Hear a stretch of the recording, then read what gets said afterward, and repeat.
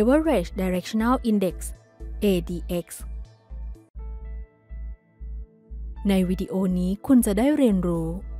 Directional Movement Entry ADX Alignment Entry รวมถึงสัญญาณ Exit Bullish และ Bearish สัญญาณ Bullish Directional Movement จะเกิดขึ้นตามเงื่อนไขดังต่อไปนี้ เงื่อนไขที่ 1 บวก DI อยู่เหนือลบ DI เป็นตัวบ่งบอกถึง bullish directional movement เงื่อนไขที่ 2 ราคาอยู่เหนือ parabolic SAR เงื่อนไขที่ 3 ADX มีค่าต่ำ low และตัดผ่านขึ้นเหนือ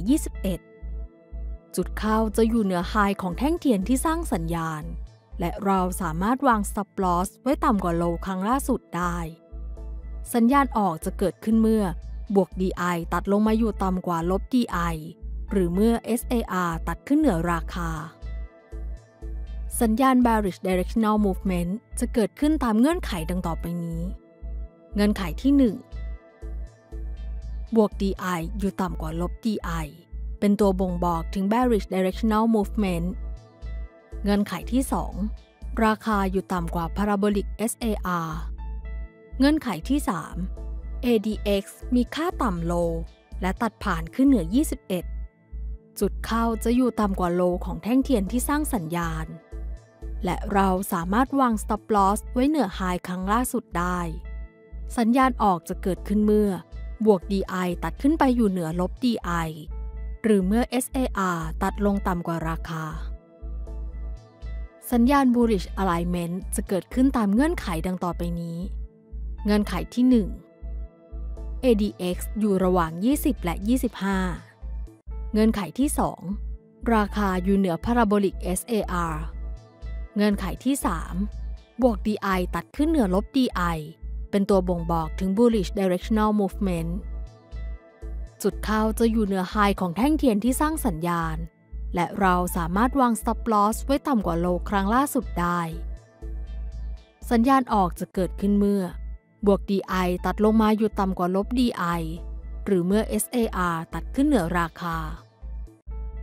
สัญญาณ bearish alignment จะเกิดขึ้นตามเงื่อนไขดังต่อไปนี้ เงื่อนไขที่ 1 ADX อยู่ระหว่าง 20 และ 25 เงื่อนไขที่ 2 ราคาอยู่ต่ำกว่า parabolic SAR เงื่อนไขที่ 3 บวก DI ตัดลงต่ำกว่าลบ DI เป็นตัวบ่งบอกถึง bearish directional movement จุดเข้าจะอยู่ต่ำกว่าโลของแท่งเทียนที่สร้างสัญญาณ และเราสามารถวาง stop loss ไว้เหนือ high ครั้งล่าสุดได้ สัญญาณออกจะเกิดขึ้นเมื่อบวก DI ตัดขึ้นไปอยู่เหนือลบ DI หรือเมื่อ SAR ตัดลงต่ำกว่าราคา สัญญาณ bullish exit จะเกิดขึ้นตามเงื่อนไขดังต่อไปนี้ เงื่อนไขที่ 1 ADX มีค่าสูง high เกินกว่าระดับ 40 และอยู่เหนือ moving average เงื่อนไขที่ 2 ADX ตัดลงต่ำกว่า moving average สัญญาณออกจะเกิดขึ้นที่จุดต่ำกว่าโลของแท่งเทียนที่สร้างสัญญาณ สัญญาณ bearish exit จะเกิดขึ้นตามเงื่อนไขดังต่อไปนี้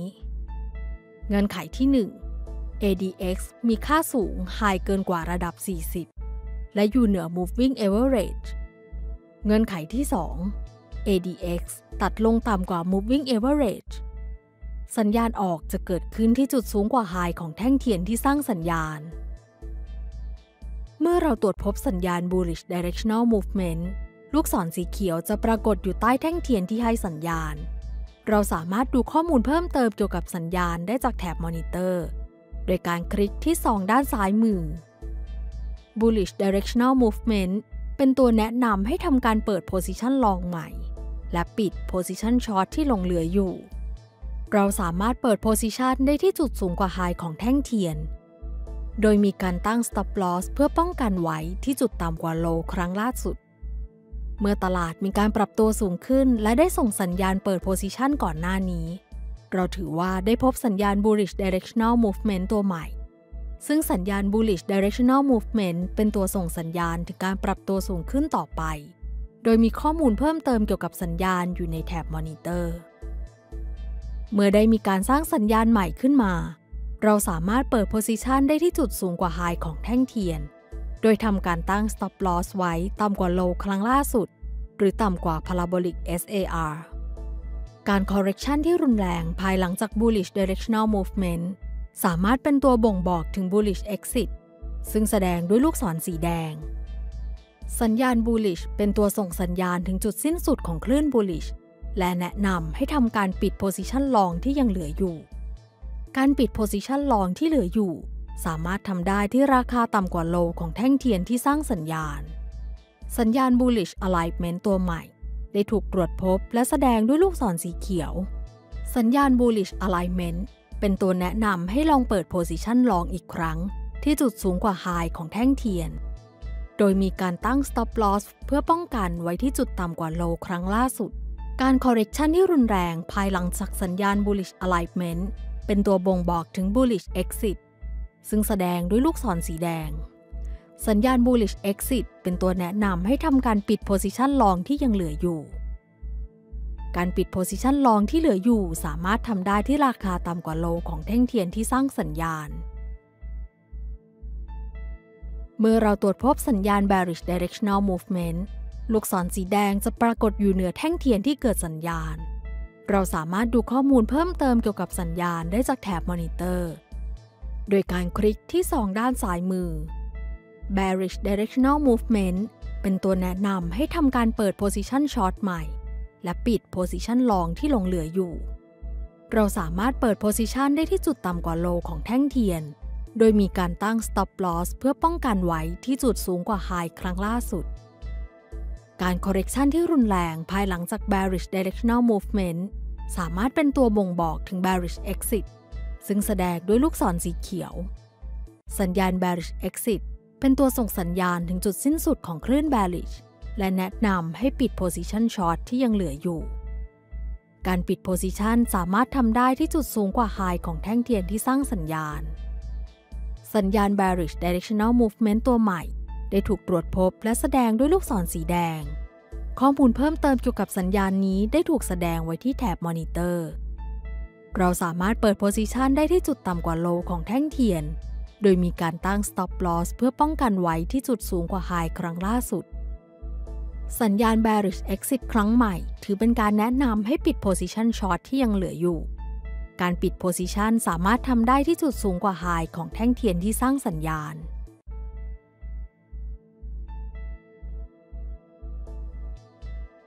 แท็บมอนิเตอร์เป็นตัวที่แสดงสัญญาณทั้งหมดบน time frame ที่เปิดใช้งาน ซึ่งเราสามารถเปิดใช้งานหรือปิดใช้งาน time frame ได้จากด้านบนของแท็บมอนิ เราสามารถดูตัวเลือกเพิ่มเติมได้จากการตั้งค่าของ indicator เพื่อที่จะเข้าไปยังการตั้งค่า indicator คลิกขวาที่กราฟ และเลือก list ของ indicator ไฮไลท์ Aframis ADX และไปที่ Properties และแท็บ Inputs จากที่นี่คุณจะสามารถปรับค่าพารามิเตอร์ของ indicator ได้ ที่ด้านบนของ list คุณสามารถเปลี่ยนภาษาของ indicator ได้จากที่เมนู ตัวเลือกต่อไปคือการเปิดใช้งานโหมดสแกนเนอร์ซึ่งสามารถทำได้ในเวอร์ชันขั้นสูงของเครื่องมือ ต่อไป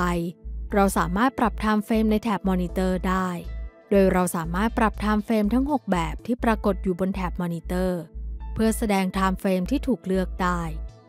นอกจากนี้ยังสามารถเลือก Time Frame ต่างๆ เพื่อให้ Time Frame แสดงอยู่ในแถบมอนิเตอร์ผ่านทางเมนูได้ นอกจากนี้ เรายังสามารถปรับขนาดของแถบมอนิเตอร์ได้อีกด้วย จากตัวเลือกนี้ เราสามารถปรับความสูงและความกว้างของแถบได้ ซึ่งรวมถึงความกว้างของแต่ละแถว ความลึกของ indicator คือจำนวนแท่งเทียนที่ indicator จะปรากฏอยู่ โดย Input 150 Indicator Parabolic SAR จะแสดงอยู่บนแท่งเทียนล่าสุด 150 แท่ง ระยะเวลาของสัญญาณคือ จำนวนแท่งเทียนที่ลูกศรสัญญาณจะยังคงถูกแสดงอยู่ ภายหลังจากที่สัญญาณได้ถูกสร้างขึ้นมา การใส่ค่าเป็นเลข 2 หมายความว่า ลูกศรจะหายไปจากกราฟหลังจากที่ผ่านแท่งเทียน 2 อัน ถัดจากการปรากฏขึ้นของสัญญาณ เมื่อเลื่อนลงต่อไปในส่วนของการตั้งค่า เราสามารถปรับค่าพารามิเตอร์ที่ใช้ในการคำนวณอินดิเคเตอร์ ADX และ Parabolic SAR ได้ สิ่งที่น่าสนใจที่สุดในแถบการตั้งค่าคือ เราสามารถเปิดใช้งานโหมดสแกนเนอร์ได้ที่ด้านบนของ list เมื่อได้มีการเปิดใช้งานโหมดสแกนเนอร์ indicator จะสแกนหลักทรัพย์ทั้งหมดที่แสดงอยู่ในหน้าต่าง Market Watch ทางด้านซ้ายมือ และค้นหาสัญญาณที่กำลังเกิดขึ้นใน Time Frame ที่เปิดใช้งาน การคลิกไปที่จดหมายที่อยู่ถัดไปจากสัญญาณ จะเป็นการสลับกราฟไปยัง Time Frame ของสัญญาณ พร้อมกับการแสดงข้อมูลเพิ่มเติมในแถบมอนิเตอร์ เพื่อความรวดเร็วในการสแกน เราควรมีจำนวนหลักทรัพย์ในหน้าต่าง Market Watch เป็นจำนวนที่ไม่มาก ในวิดีโอตัวต่อไปของเรา เราจะพูดเกี่ยวกับอินดิเคเตอร์ Bollinger Bands ขอบคุณสำหรับการรับชม